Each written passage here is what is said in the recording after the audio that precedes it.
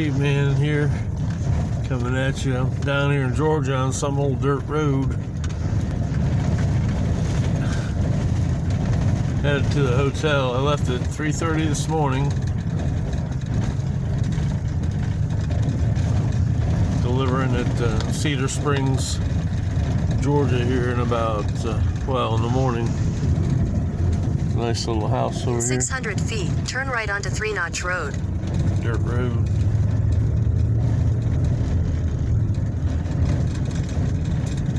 Alright, I'm gonna get back at Take you. the next right onto Three Notch Road.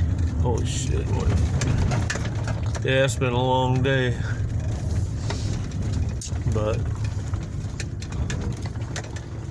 that's what it takes being a hot shot expediter. In a quarter mile, sharp left onto Georgia 39 South.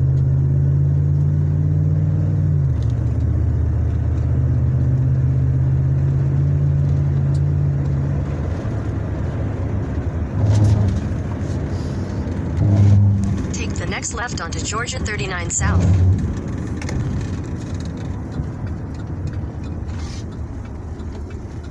Down in Georgia, boy. Ain't nobody coming that way or that way. Look twice, man. Look it twice.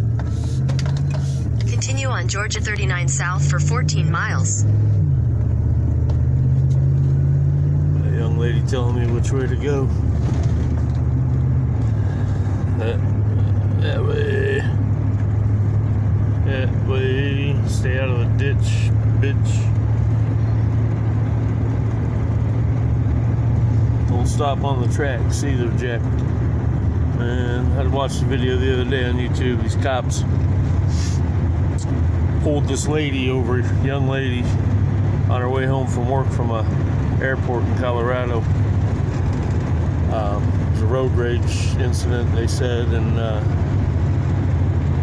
they pulled her over, got her out of her vehicle, placed her in a squad car that was parked on train tracks.